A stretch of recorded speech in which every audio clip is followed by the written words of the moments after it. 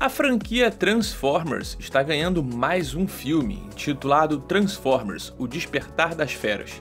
E embora possa parecer estranho para algumas pessoas ver os robôs gigantes se transformando em animais ao invés de carros, saiba que existe muita base para a trama do filme e para o icônico Optimus Primal, o gorilão que rouba a cena no trailer.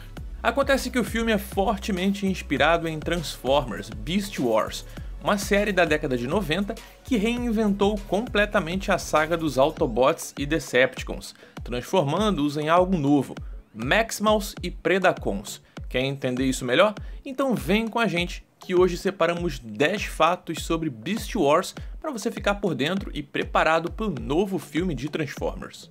Mas antes da gente começar, não se esqueça de deixar o seu like aí no vídeo, se inscrever no canal se não for inscrito e clicar no sininho para receber todas as nossas notificações, porque tem vídeo novo aqui nesse canal todo dia.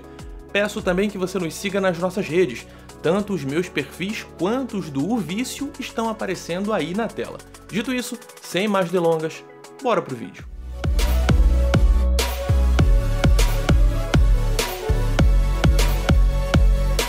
Quando os brinquedos de Beast Wars foram lançados pela primeira vez, não havia desenho animado para acompanhá-los ainda. Em vez disso, havia um mini quadrinho, Optimus Primal vs Megatron, que fornecia um enredo muito diferente do que o eventual embate na televisão. A história em quadrinhos segue Optimus, que era um morcego em vez de um gorila, Cheetor e Razor Beast em sua busca para destruir um laboratório de genética Predacon, apenas para serem atacados por Megatron, que é um crocodilo em vez de um T-Rex, Waspinator e Tarântulas. Mas afinal, Maximals, Predacons, do que estamos falando? Pois é, acontece que Beast Wars não traz os clássicos Autobots e Decepticons, mas sim formas mais evoluídas de Transformers, os Maximals e os Predacons. Isso acontece porque eles evoluíram para formas biomecânicas após um evento conhecido como o Grande Upgrade. A batalha entre as duas facções se manteve, é claro. Os Maximals assumiam as formas de mamíferos e aves, com o principal deles sendo o gorila Optimus Primal, descendente direto do famoso caminhão Optimus Prime. Já os Predacons se transformavam em répteis, incluindo dinossauros, é claro, como o seu líder Megatron, que pode se transformar em um T-Rex. Esses dois grupos rivais seguiam travando uma batalha pelos cristais Energon, a força vital de todo o maquinário Transformer. Embora Beast Wars apresente dinossauros, mamíferos gigantes e humanos da Idade da Pedra como pano de fundo para sua batalha de robôs, a série é na verdade ambientada no futuro da linha do tempo de Transformers, graças ao maravilhoso dispositivo narrativo da viagem temporal. A série original e o filme animado narram uma série de batalhas que acabariam levando à vitória dos Autobots e à imposição de pesadas sanções contra os Decepticons. Então, 300 anos depois, o Predacon Megatron roubaria o disco de ouro da sonda espacial Voyager. A nave Maximal perseguiu Megatron através de um portal de dobra, e ambos caíram em um planeta supostamente desconhecido que acabou sendo descoberto mais tarde como a Terra no passado. Dessa forma, Beast Wars consegue ser uma sequência e uma frequência de Transformers ao mesmo tempo. Muita gente comete o erro de pensar que Optimus Primal e Megatron nessa série são de alguma forma versões renascidas dos dois líderes Transformer originais. Não é esse o caso. Na verdade, esses dois novos líderes de facção nem são descendentes diretos dos grandes robôs. Eles são simplesmente dois Transformers que aceitaram os mantos daqueles que vieram antes deles. Optimus Prime e Megatron clássicos até aparecem na série e podem ser vistos em suas naves danificadas, de onde eles despertariam para iniciar a série Transformers original. Aqui, as novas facções Maximals e Predacon até os encontram, embora ambos estejam em hipersono. Um líder heróico de uma equipe moralmente boa de máquinas orgânicas não estaria completo sem um Optimus. Beast Wars se despediu de Optimus Prime mas apresentou ao público um novo e humilde capitão, o Optimus Primal. Esse personagem foi dublado por Gary Chalk e liderou a nave de exploração Axalon. Não demoraria muito para o caos acontecer e Optimus Primal se tornou o líder dos Maximals para reivindicar uma vitória pacífica sobre os Predacons. Primal mostrou grande paciência com sua equipe, bem como grande compaixão e calma. No entanto, ele não deve ser subestimado como guerreiro, já que desafiar Primal não é um risco que alguém gostaria de correr. Transformar-se em uma fera orgânica não é algo isento de problemas, pois alguns Maximals podem enfrentar a condição perigosa e rara de uma falha de varredura.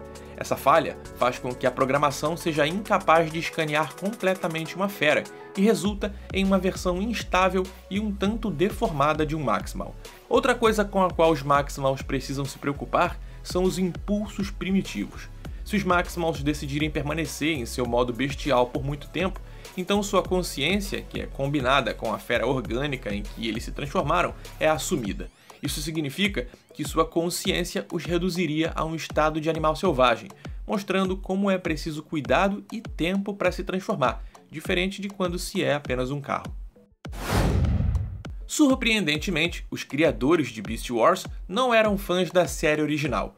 Isso pode parecer uma receita para o desastre, mas na realidade foi o que deu a eles flexibilidade para criar novas ideias para a série. Uma dessas ideias era a centelha, que basicamente era a alma de um Transformer. Se essa centelha for danificada, o Transformer deixa de viver. Outro conceito trazido pela série foi a ideia de uma protoforma, essencialmente uma ardósia em branco. Elas aparecem como um metal líquido ondulante sobre algumas partes sólidas.